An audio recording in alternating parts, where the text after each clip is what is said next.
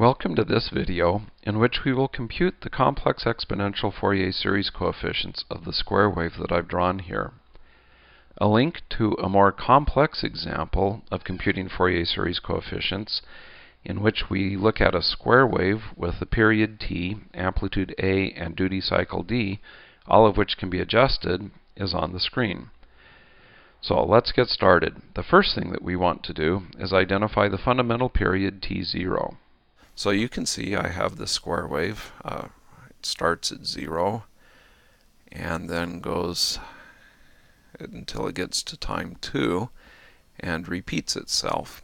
And if you want to look at a different interval, you can think of starting at time 1, and it goes to time 3 and repeats itself. But in any case, the fundamental period is 2. We also, at some point, will need to know omega 0, which is equal to 2 pi over t0. So in this case, omega 0 is equal to pi.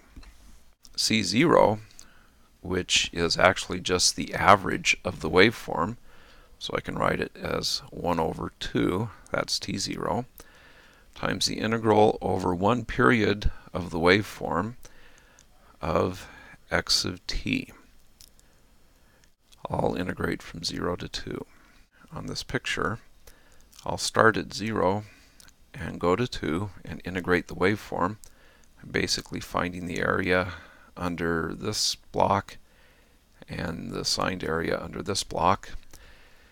And so uh, I can write this then as 1 half times the integral from 0 to 1.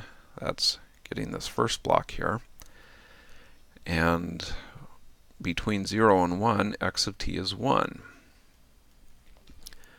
plus the integral from 1 to 2, that's basically this block, uh, between 1 and 2, x of t is minus 1 dt. And so if I work that out, and this 1 half should be in front of everything, so if I work that out, I have 1 half times uh, working the first integral out here, I get 1. Working the second integral out, I get negative 1. So it's going to be 0, which is what you would expect. Let's now compute c sub k for the case where k is not equal to 0. So you remember that c sub k is 1 over t0, which in our case is 2.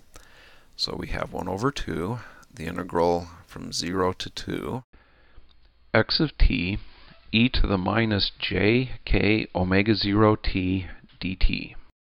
You'll remember that omega 0 is pi, so I'll start using that in just a minute. Because x has a value of 1 between t equals 0 to 1 and a value of negative 1 between t going from 1 to 2, I'll break this integral into two separate integrals.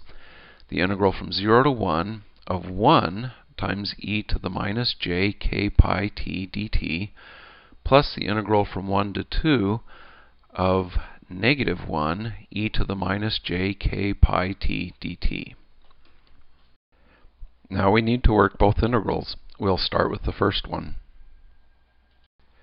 Since we're multiplying by 1, we can just cross it out. And then we find that we're integrating an exponential. And to integrate the exponential, we end up with 1 over the constant times the exponential terms evaluated at the limits.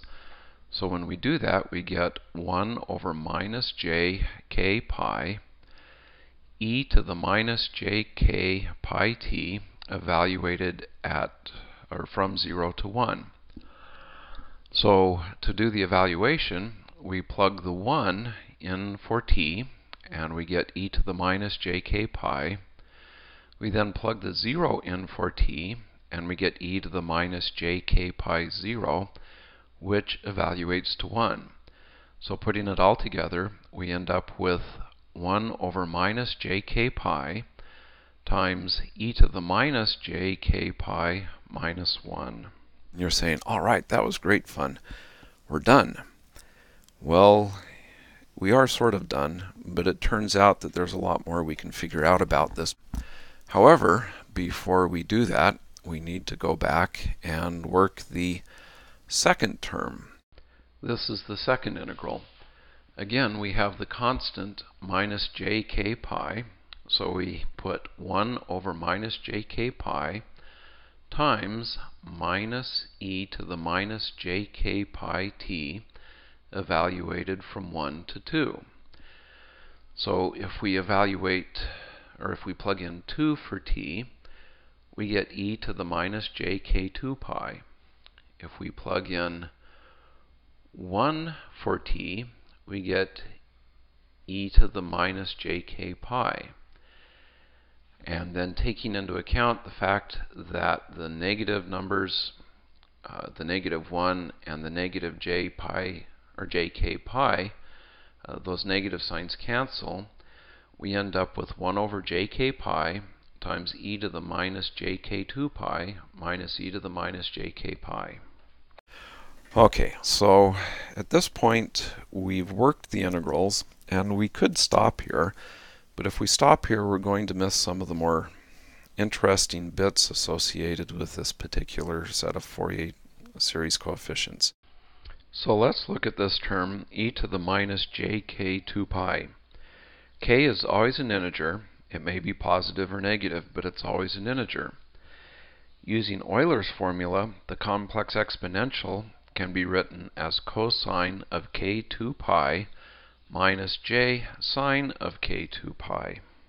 And the cosine of an integer multiple of 2 pi is equal to 1. Similarly, I have the sine of an integer multiple of 2 pi, and the sine of an integer multiple of 2 pi is 0. So this expression can be written as 1 over jk pi times 1 minus e to the minus jk pi.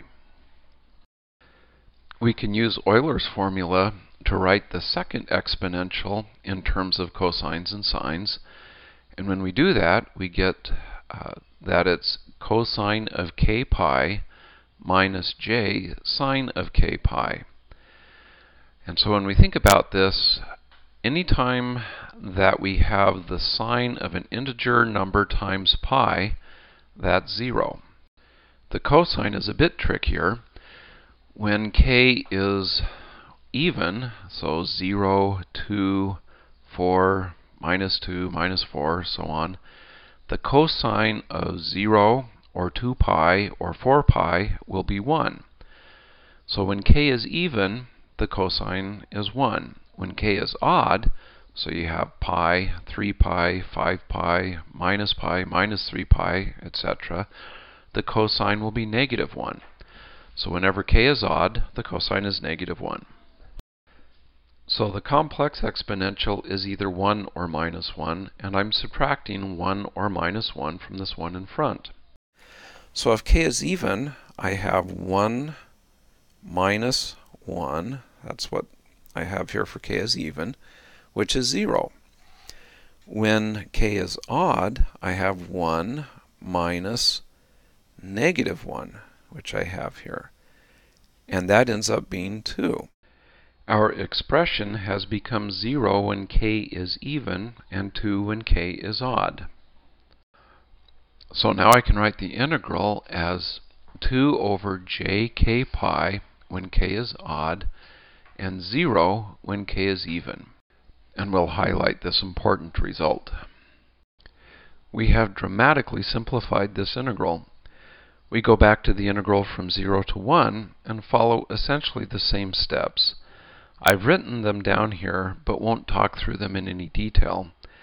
The idea is that we take the e to the minus j k pi, use Euler's formula to break it up into a cosine and a sine. The sine is 0, the cosine is either 1 or minus 1 depending on whether k is even or odd. And then when we work that out, we get exactly the same result for this integral that we had for the other. That is, when k is odd, this integral is 2 over jk pi, and when k is even, this integral is 0.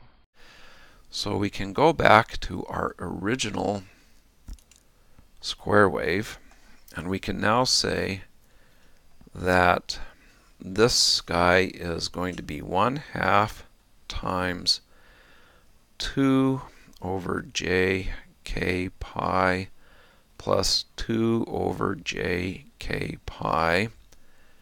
And this is the case where k is odd. Or it will be 0 when k is even. Summarizing, we get this result. Okay, so I've plotted the c sub k's for different values of k, uh, plotted both the magnitude and the phase. Uh, the top plot in red is the magnitude, and you can see that um, the odd numbered coefficients, so this would be what, minus 9, 7, minus 5, minus 3, minus 1, and so on. The odd numbered coefficients are non-zero. The even numbered coefficients are all zero. Uh, I've also plotted the angles, and you can see that the angle for these c sub k's are all either uh, plus pi over 2 if the k's are negative, or minus pi over 2 if the k's are positive. And what this means is that the c sub k's are entirely, the non-zero ones at least, are entirely imaginary. They, they don't have any real component. That's a consequence of the fact that the square wave that we looked at is an odd function. Uh, this will end this video. Thanks for watching.